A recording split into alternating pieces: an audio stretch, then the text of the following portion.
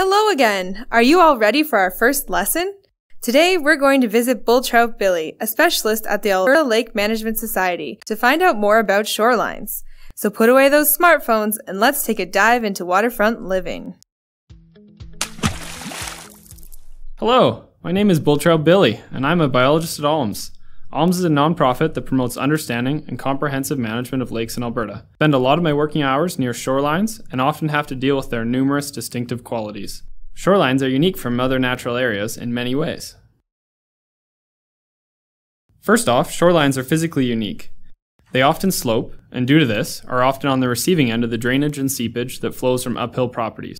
Additionally, the wetter soils are often compacted by disturbances that occur within 30 feet of the water.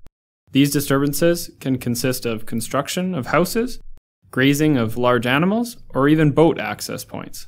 This creates a tendency for erosion as the effects of little vegetation, dry soil, as well as wind and ice over exposed stretches of water all combine to damage the banks.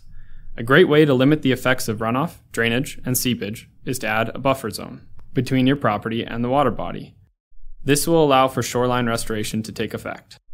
Secondly, shorelines have a differing climate. The dynamic nature of lake water levels create microclimates. These lead to temperature inversions and unusual frost patterns, which result in varying weather effects compared to mainland ecosystems. If a shoreline property owner wants to save heating costs, he or she can plant native trees in between their home and the lake to protect from chilling lake breezes. Thirdly, shorelines contain a large amount of wildlife, in fact, over 80% of all birds, reptiles, and amphibians utilize shoreline areas sometime during their life.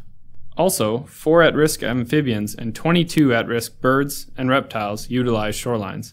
Additionally, they not only benefit land animals, but they also help protect the quality of aquatic habitat for fish species in the water bodies. A better management practice would be to consult with the ALMS to see whether any of your shoreline activities can cause damage to fish and wildlife habitat. Lastly, shorelines are governed by a wide variety of laws.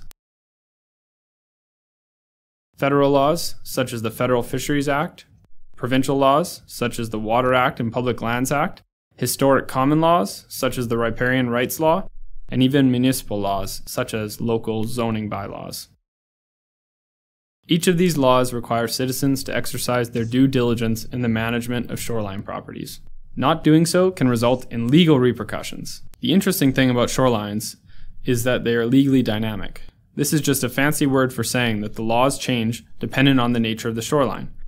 The legally dynamic part refers to how the high water line is a representation of a variable boundary.